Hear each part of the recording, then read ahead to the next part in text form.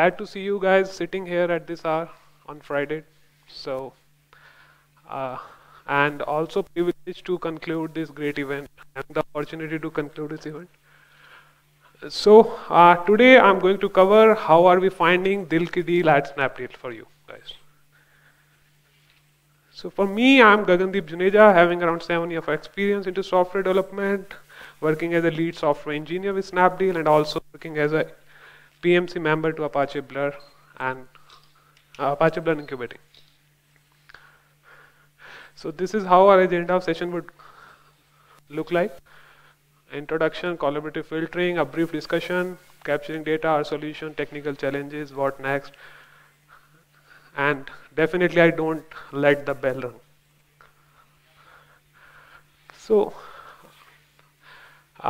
what are the recommendations? So from uh, for any e-commerce portal like Snapdeal, so for us recommendations are like uh, predicting a new products or new items a user would like to buy or like to see on our website. So what kind of problem that we are solving? Uh, we are solving by doing this, like personalized user experience. Let's say if you're coming on our website with something into your mind, and you will see directly on the homepage of the site itself in the recommendation section. So how great your experience would be. And obviously, from company standpoint, increasing conversion rate. So we already have the talk on collaborative filtering, but anybody don't have idea what the collaborative filtering is? Okay, one or two hands. So, okay, we can quickly cover this. So collaborative filtering is the idea where we try to find uh, the we try to predict items for user based on the other users which we uh, predict somehow that they are likely, uh, they, are, they are having a similar kind of interest with the user. So let's say uh, in the diagram, I hope you will able to see, uh, you are able to see it. So from the diagram, what we can see is uh, we are having three users, user one, user two, and user three, and we are having four products. One is grape, second is strawberry, third is watermelon, and fourth is oranges. So in our database, what we have is we have the history that user one has purchased grapes, watermelons, and oranges. And user has user two has purchased grapes and watermelon. So based on this history, what we can infer is that grapes goes very well with watermelon. And if any third user comes to our website and we know that the user is all user has already purchased the watermelon, then we can easily predict him uh, the grapes based on the historical data that we have. So if you see from the mathematics stand, uh, point of view, so we just need to create one uh, matrix uh, for, for item to item matrix, uh, which represents how many times item one and item two uh, have been sold together or bought together. So you can see that item 1 and item 3 is here. Uh, is, uh, the, the cell of item 1 and item 3 is having score 2. So it's, uh, it's been sold twice together. And if we want to predict uh, for user 3, what are the recommendations? We just need to take a dot product with the user 3 uh, purchase history and we can find uh, in, the, in the green cell you can see that we can recommend item 1 to the user. So this is a very brief and basic idea how collaborative filtering works. A lot more, uh, a lot more details into it, but this is how it works. And yeah, so uh, now uh, we are going further. Uh, further in the session, we are going to discuss a lot about data, like how we are gener generating recommendations and why do we want to do that, and what are the new uh, tricks or uh, tries that we are doing with the data. So for that, first let us understand. Uh, let us take one example of our user browsing history snapshot, so that we can refer it to for the for our upcoming algorithms. So this is the snapshot of a user history with Snapdeal. So, uh, with, uh, so I can summarize this data for you. From this data, you can see that the user has visited nine days ago. He's visited mosquito nets 11 days ago. Again 11 days ago, 11 days ago. So couple of mosquito mats 12 days ago. User has purchased one AC from Snapdeal 15 days ago. T-shirts 18 days ago. Some ACs he has already visited 20 days ago, 21 days ago, 21 days ago, and few months, like 20, 210 days back, he was interested in, or maybe he was looking for phones on Snapdeal. So this is the kind of raw data that we have. If we can summarize this data, the user is interested in bottles and mosquito nets, maybe because of summer or any reason these days, and he has already purchased T-shirt and AC from Snapdeal, and some days back he was looking for mobiles on Snapdeal. So if we are going to run plain collaborative filtering that we have already discussed on this data, that there is uh, that uh, let's see what are the recommendations coming. So recommendations coming are some ACs. User have already purchased T-shirt ACs, then bottle, uh, mosquito nets, mosquito net bottles, and some irrelevant stuff, right? So uh, do you think this is the right thing uh, to show to the user uh, in the recommendation section? If he has already purchased AC from us, then there is no point showing him AC because there are very less chances that he, he'll purchase AC again. T-shirts, yeah, if he has already purchased T-shirt, we can show him more T-shirts. Bottle and mosquito net he was recently interested in is coming little lower in the list. And some irrelevant stuff uh, th that might come because of the user behaviors that we have captured through collaborative filtering, but user might not be interested in this stuff. So what are the, uh, the problems that we face with this plain uh, vanilla collaborative filtering approach? One is old purchase that we have already seen, that user has purchased AC and T-shirts are dominating in the recommendation that we are generating. So another, uh, so so th that is dominating uh, the recent interest of the users. So one uh, important point that we'd like to uh, mention here that uh, that is going to be base of our solution that we have developed. The one is uh, that the user interest decay with time, right? If user was interested in iPhone or maybe other phone seven months ago, so there is no point recommending recommending him similar products today, right? Because if we revisit the collaborative filtering technique, it simply works on a feedback capturing mechanism, right? So uh, feedback, uh, so like uh, this is well proved at Netflix or Amazon. Like in, for Netflix, they are having explicit feedback for a movie of user. But for us, like portal, we can't ask every user if he is visiting something that rate this product or rate your interest for this product. So we are having challenge, uh, challenge in capturing the external feedback. So how we are working with collaborative filtering technique is we need to capture implicit feedback and that is static for all users. Like uh, for that what we are doing is, so we are having multiple activity types on our website like user visit, uh, user might have added product to wish list or cart or user must have, might have purchased product from us. So for these all activities, we give static score like one to view, two to maybe wish list, three to add to cart, and for to purchasing. So these these are like so based on that we can generate recommendation, but the, these uh, these uh, feedback mechanism is not capturing the time. So which is the key here because user interest decay with time and might be so user might be interested seven months ago in iPhone 5, but today he might be interested in iPhone 6. Unrelated category products that we have already seen are that some uh, chappal and all other products are coming on the uh, on the recommendations. The user might not be interested in all those products. So, uh, yeah. So no point. Uh, so if user has uh, like uh, if user, we are having user 10 users 10 activities right in a particular subcategory or particular category on our website so we don't want to show him products related to all the products all all the activities that he has done on our website, right? We just want to show him some products in that particular category. So this is again a challenge while working with uh, collaborative filtering. Though we can overcome this, uh, but let's see how we are doing it. So first, going uh, further into this, uh, this discussion, let us see how we are capturing data at Snapdeal.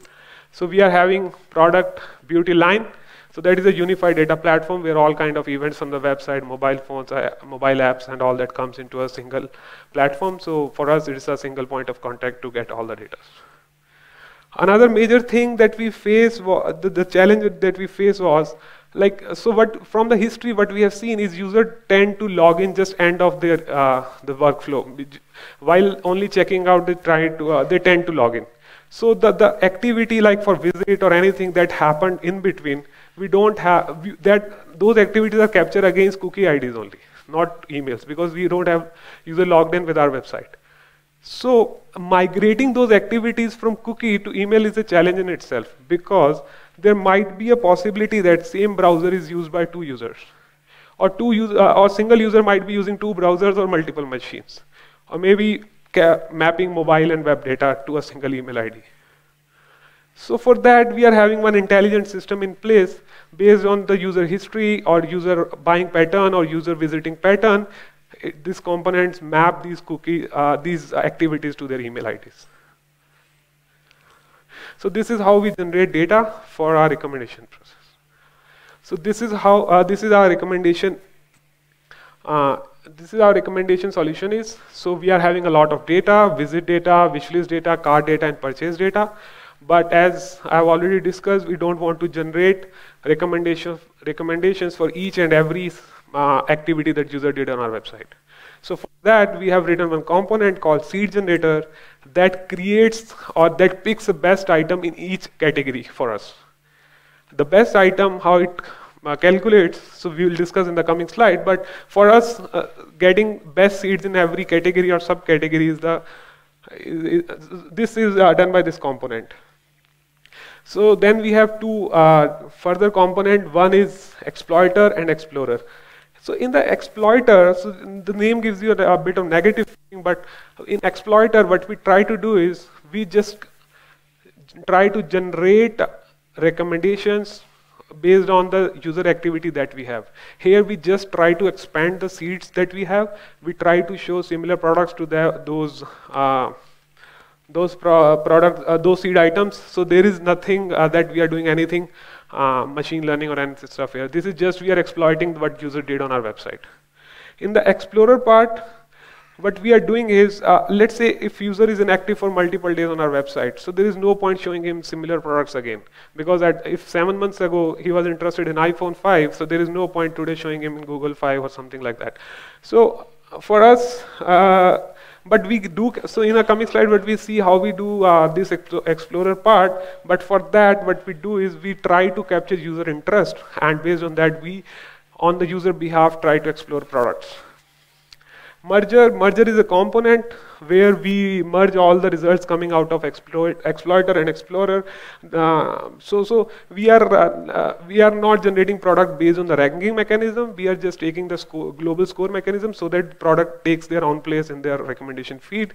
So that is uh, somehow taken care by the merger or uh, we will see it in a detail uh, in the coming slide and from the merger we do generate the recommendations. We do some uh, redundant removal kind of stuff in the merger and we do generate recommendation out of that. So key terms that we are going to uh, use uh, very often in the coming slides, one is categories and subcategories. So you all must be aware that the entire product catalog, we are having around very big uh, 12 million product catalog at Snapdeal. So we have divided that catalog into categories, subcategories, and more granular level. But for simplicity's sake, we can just uh, think of divided into two uh, two things. One is categories and subcategories under a category. Second, based on the historical data that we have, we divided our categories, uh, our subcategories into two types.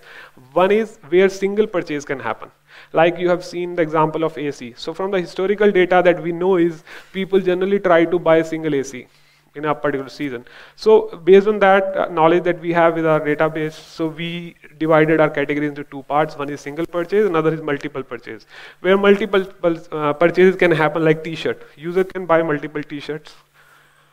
Research time. So based on the historical data that we have, we found is how much time a user uh, generally take to make a decision uh, before buying a product. Like for AC, uh, somehow we find that it is 21 days. So we know that till 21 days, the user is going to research in that particular category. So we want to boost that category a bit. So that is what we're using research time there. Expiry time. So every product has its expiry. So based on our repurchase behavior or the uh, historical data that we have, we are finding a term called expiry time so that we can utilize that to remind the user, okay, you can buy it now again. So the first component that we have is clean seed generator where we try to pick the best item in each subcategory. So the, the main idea behind picking up the best item is the, uh, so again, the concept is user dynamic interest. User interest changes with time. So we use this fact here and and try to find best item based on the exponential decay function okay, what kind of item user would be recently interested in. So it also use multiple component that I've already discussed, research time, recency is also a key there, recency that I've already, already discussed, and subcategory affinity. So let's say in a particular subcategory, some item is coming out of best seed, right? But in multiple categories, items might have same score, or we may want to boost some item. So for that, we are using a term called subcategory affinity, with some formula, we calculate user interest in that particular subcategory. And based on that interest, we try to score products, uh, so score seeds accordingly. So again, so we are using exponential decay with time because we know the interest decays. So uh, from that raw data that we've already seen, where user was recently interested in bottles and mosquito nets, he has two, made two purchases. One is AC and another is uh, t-shirt and user was interested in iPhone or some phones seven months ago. So based on that, this is our seed that we have picked. For that, we are going to rec generate recommendations. So you can see here is uh, the mosquito net user visited 11 days ago and the bottle user visited 9 days ago, but bottle is coming down in the list in comparison to the mosquito net because of the subcat affinity of the user. So user tend to buy in this in this particular category a lot. So we want this to be ranked higher, uh, ranked or scored higher than in comparison to the bottle. Purchased AC, so it belongs to the category where only single purchase can happen, but we will see how we are utilizing this space. T-shirts, again, multiple purchases can happen, and the phone he has visited. So th these are in the order of the, their score. So another component that we have discussed is exploiter. Here we just try to exploit user input that we have. So for us, the user inputs are like the seed items and we the seed items that we are, sorry.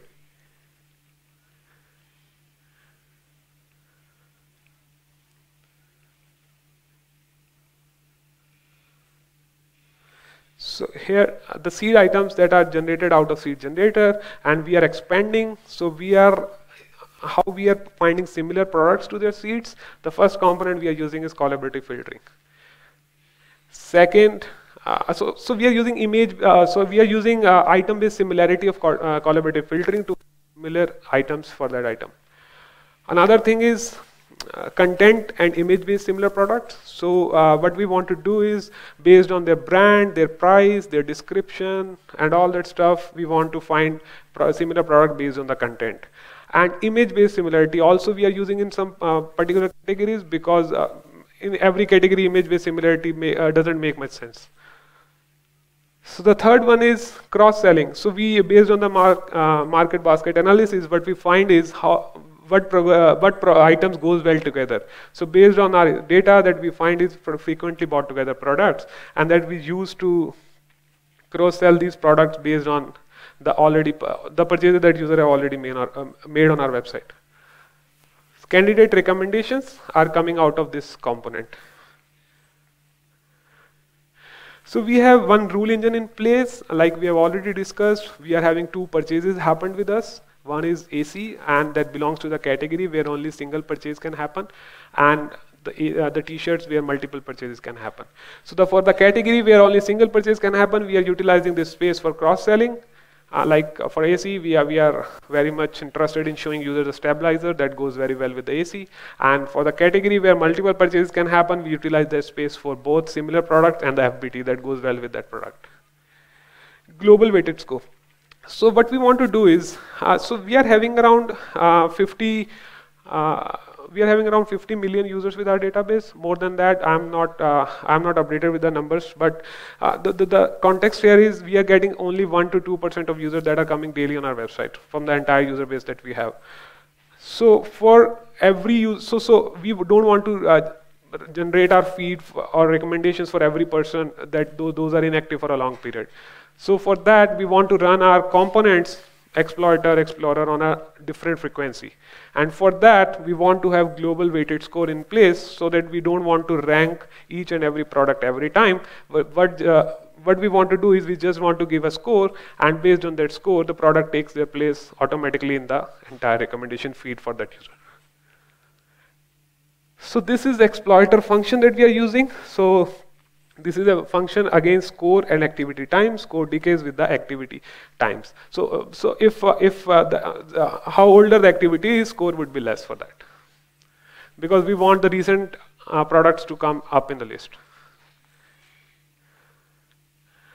System generated recommendation. So we are having another component in space. We, this uh, we, we want to utilize for uh, like if we want to do uh, force forcefully recommend something based on based on, based on our business strategy or some other factors. So initially we are using it uh, for uh, predicting uh, user repurchase. If user have already purchased some item and let's say we are notified by the system that the, the, the expiry of this item has already reached and we can ask user to rebuy it from us. So again, the idea is right product to right customer at right time. Explorer. So here, uh, so, so if let's say user is inactive a long time on our website, so the, the data of that user that we are having with us is kind of stale, right? If you were interested in something uh, seven months ago or eight months ago, so there is no point showing him similar product again. But uh, we don't want to lose that information of that user we have uh, of that user we have with us and we just want to compute here the category affinity of that user. So that based on that affinity we can recommend him the trending product in those particular categories today. So if user is coming after seven months ago so if we are having data like he was interested in iphone 5 at seven months ago so today we can recommend him iphone 6 for that matter so if user is, uh, so, so that also applies if user is not coming in a particular subcategory with us or particular category with us. If user is not, uh, uh, not doing any activity in phones category today, so we also want to recommend him uh, the, products uh, in that particular category, but obviously they are having low score because of the recency of other activities. So exploiter versus explorer, uh, since we are having global weighted score mechanism in place, so explorer versus exploiter graph automatically takes place for a, let's say for a longer period, if user is not coming into that particular category, so in that particular category, explorer takes a lead than exploiter. So explorer uh, ex product, product recommended by explorers are coming top in comparison to the product recommended by the exploiter. So we simply calculate here user affinity based on our formula. Uh, that includes uh, interest decay with time, discovery top trending products in each uh, category based on the sliding window algorithm, based on the product launch date, visited, number of times it has been visited, purchased, and that, that change very frequently in a day, multiple times in a day. So based on that, we try to update the Explorer component of our feed multiple times a day. So this is how, again, it's a decay function, decay with user, uh, decay with time, and so again, if the activity is older, then uh, it, it decay with time. The score decay with time. Merger. So since we have generated a lot of recommendation from our different components, so it's time to merge them. And uh, you can see that Exploiter is gen uh, generating some recommendation candidate. Explorer is generating some recommendation candidate. Though they have their own global score, so we need not to do any ordering or anything here. We just need to club them and but what we want also want to do here in the merger that remove redundant products. Like if uh, if same product is coming from two seats, maybe because of FBT or anything else, we do we just want to find overly similar products over there and uh, remove them. And other thing like sold product, inactive product, we take snapshot of our inventory system uh, on, on very frequently, and we try to update our feeds from the sold already sold products in that category. And based on that, we generate recommendations. So this is how exploiter versus explorer graph works in a merger. So you can see that till 50 days for that particular instance, exploiter was taking a lead. Blue is explo exploiter, right? But after 50 days, explorer takes a lead.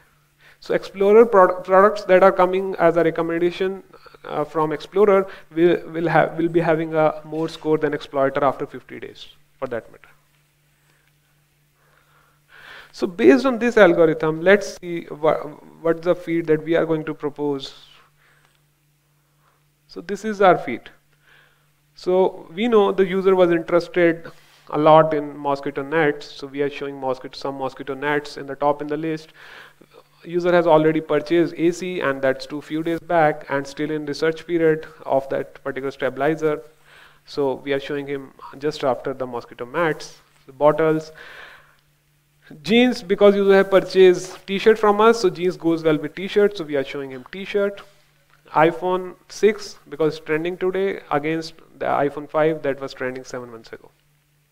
So this is the feed that we are going to generate.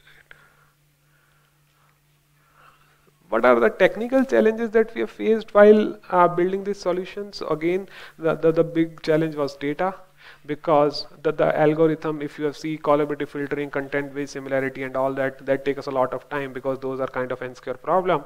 So that takes a lot of time and we want to uh, update our uh, feed frequently in a day. So for us generating uh, so for us like uh, writing the entire whole solution in a single go was not a not a good thing to do. So uh, the components like image-based similarity, content-based similarity, uh, collaborative filtering that we run daily.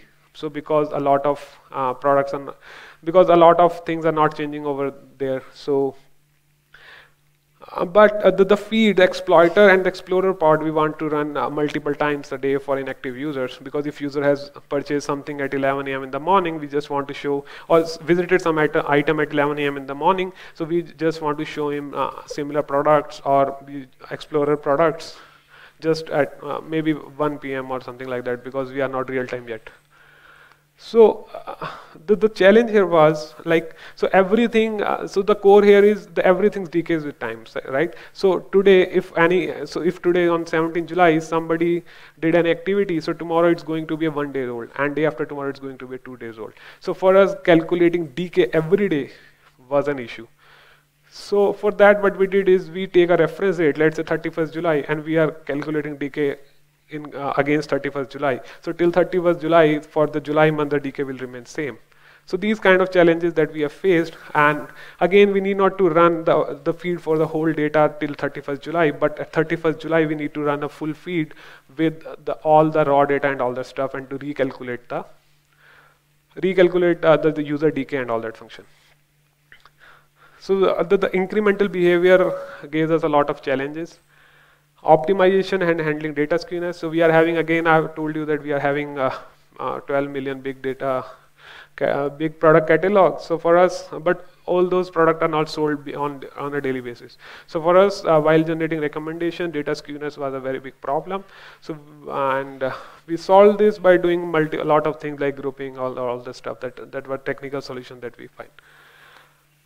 Tweaking algorithms to increase relevancy. So like we have already seen the decay function that we have so those are not very much uh, that simple while calculating because we need not, we need to some cap like for a particular item if user is visiting today we don't want to score get beyond 0.7 or something like that. And the lower cap also we want to restrict to some limit so that we cannot run off infinity or any kind of problems.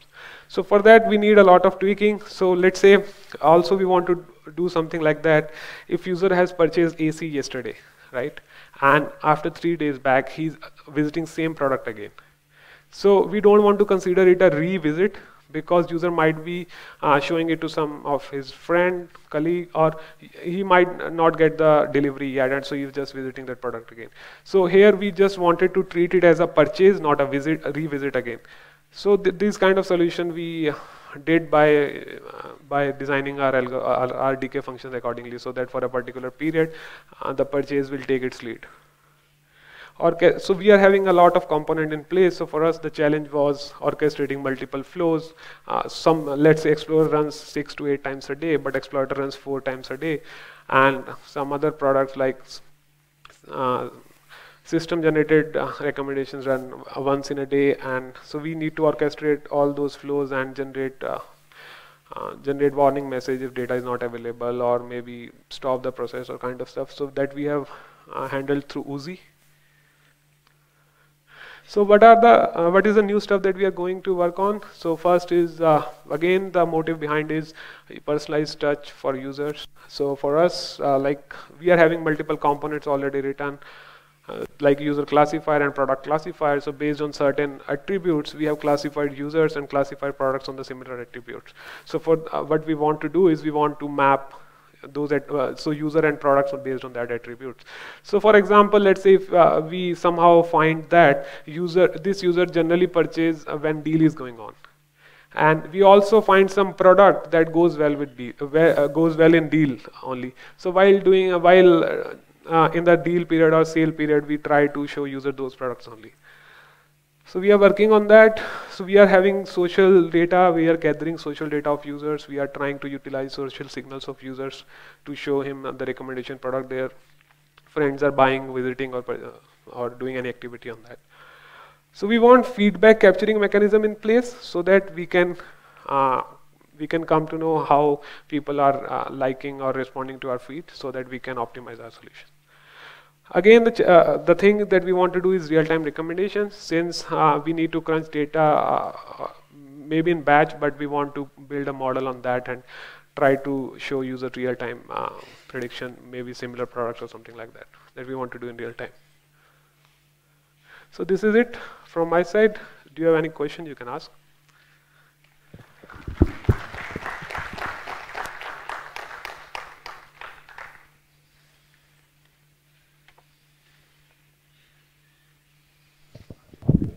Hello, Gagandeep. Hey. Uh, you mentioned there is a research. Yeah. yeah. You mentioned there is a research time window considered as 21 days for ACs. Yeah. Like considering that the user would research for this period of time. Now, given that the product catalog that you may have would be in millions, how do I how do you identify the time window that you may actually want to narrow down for a given product item or a product category for that matter to decide research time window because this cannot be uh, you know automated as a process. So how do you identify this?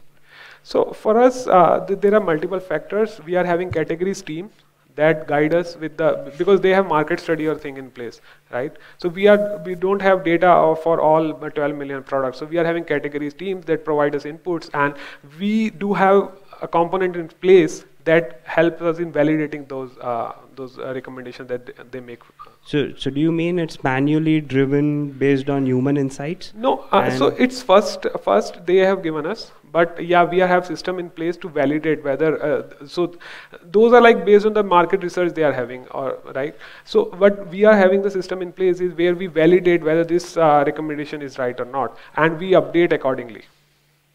Okay. Yeah. Thanks. Yeah. Uh, hi, this is Vijay. Uh, uh, do you collect the yeah yeah yeah collect the information in the server side for every request or through JavaScript? Can you come again? Uh, do you uh, collect all the information in the server itself or in the through JavaScript after the page loads? Uh, the, the, reason I'm asking this is, you know, will you be able to figure out uh, all the robots access and uh, scrap them? I mean, uh, remove them from all the data collected.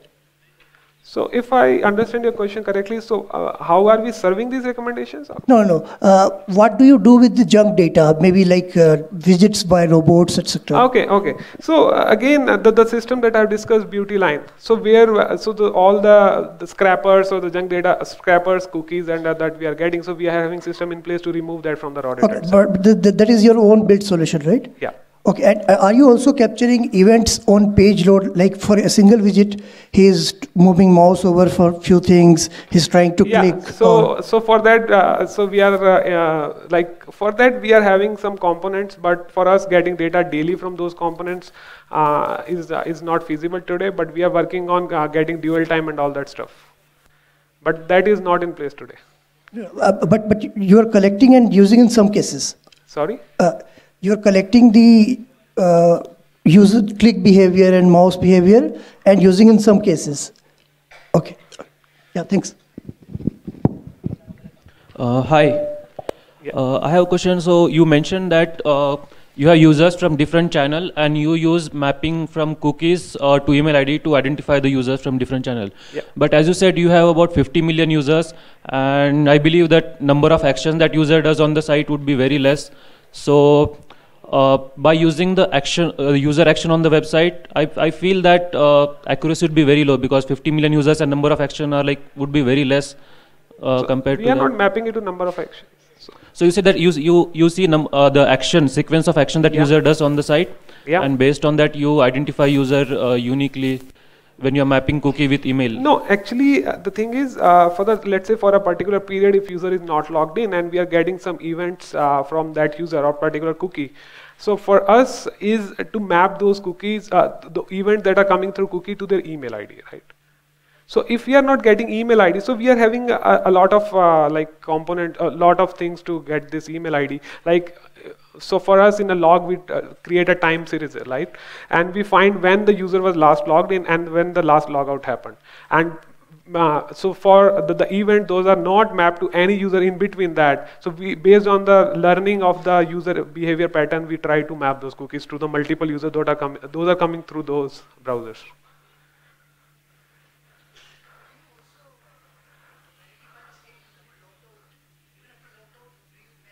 Yes. You got my point? So, so even if I log out, will you be able to identify that it's me? So if user, let me give you an example. So if user A logged in, right, and did some activities, and user A logged out, right? Yeah. Some activities happened from that cookie. We don't know whether you, uh, user B did that or uh, user A did that, right? It's fine. Which is fine. And after that, user B comes, uh, user did uh, login from that particular cookie and logs out after that. So Yeah. the events between the user B logged in and user A logged out Hmm. are not mapped to any any user right now till Yeah, so so that- that based on so based on the behavior of the user uh, searching pattern or user visiting pattern or user buying pattern that we have we try to map those items to the users Same user. And, uh, so based on that we find whether it belongs to user a or user b So you'll not be able to figure out. Let me come again. So user A is logged in. Okay, Uh-huh. he does some activities, then logs out. Okay, and then uh, maybe he or someone else comes to the same computer, does some browsing. Mm-hmm. So these uh, browsing after logout, will you attribute it to this user who had logged in? so we try to divide those events between user a and user b because user b have user Okay. a might have done uh, those activities after logging out right Okay, okay. Um, my question is uh, towards a trending catalog. Hello. So you, you mentioned about collaborative uh, filtering. Uh, so my question is about uh, trending catalog. So how do you show trending products and make sure that uh, kind of a bubble doesn't happen? For example, you show a particular, there are like few hits for a particular product, and then you show it as a trending uh, item, and again the hit keeps on increasing. Uh, because it is shown as a trending item. So how does the the trending catalog on those pieces work? So you are saying uh, some product is uh, continue to be a, a top trending in that particular category? Uh, no, basically, I'm asking about the algorithm or the way you, you, which you show products as trending and make sure that uh, the bubble doesn't happen. For example, uh, after reaching a particular point, maybe that product was not liked by people, but it was viewed uh, so many times. But that should not be shown as a trending item, right? So this is very uh, non-problem, Britney Spears problem if you see. So we have handled it. A lot of papers are there. You can read.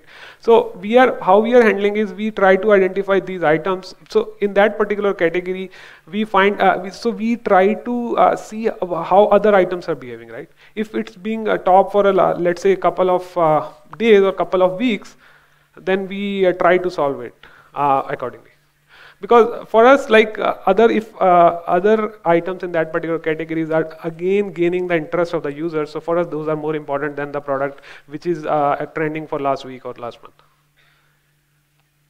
Okay. Yep.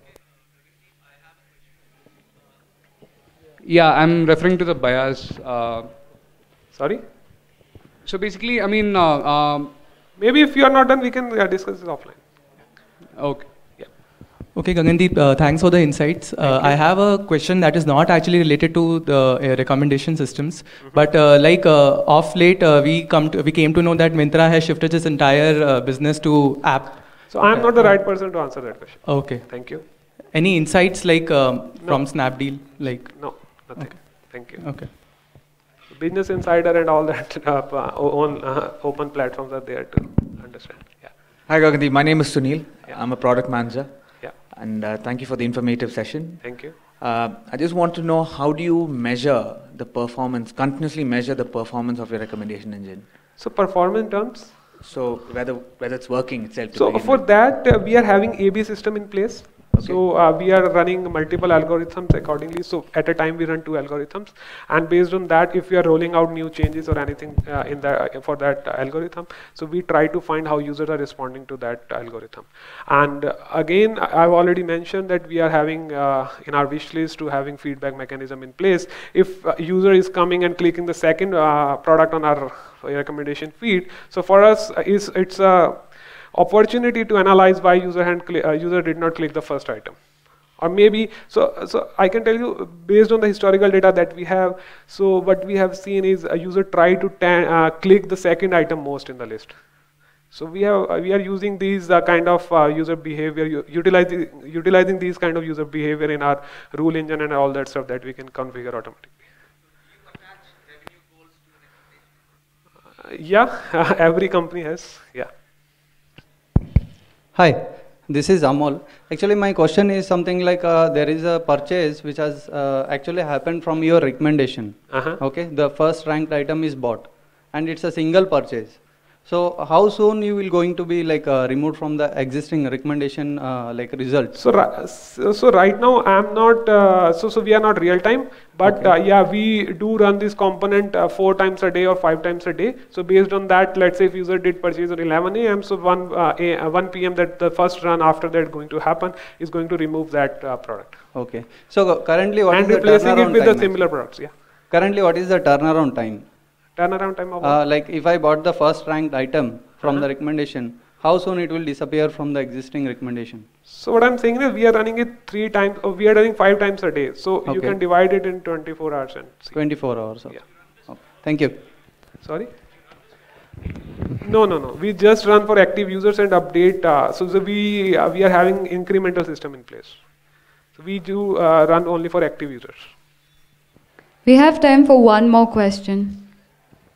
Uh, for the impl- uh, implicit feedback, like uh, Yeah. visiting and adding it to the basket or purchase, you said like you uh, mark it as one and two or, Yeah. and three.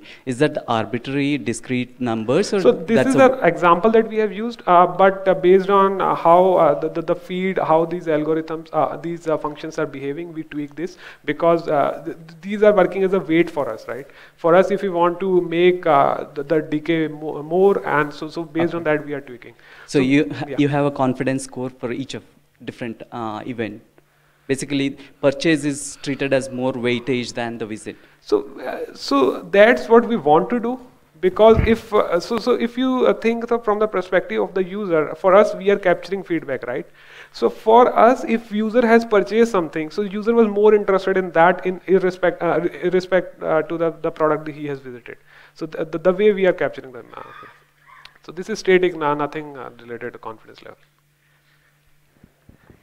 Okay. Thank you, Gagan. Thank you. And with that, we come to the end of the 2015 edition of Fifth Elephant. We hope you loved the conference and you come back again. Thank you.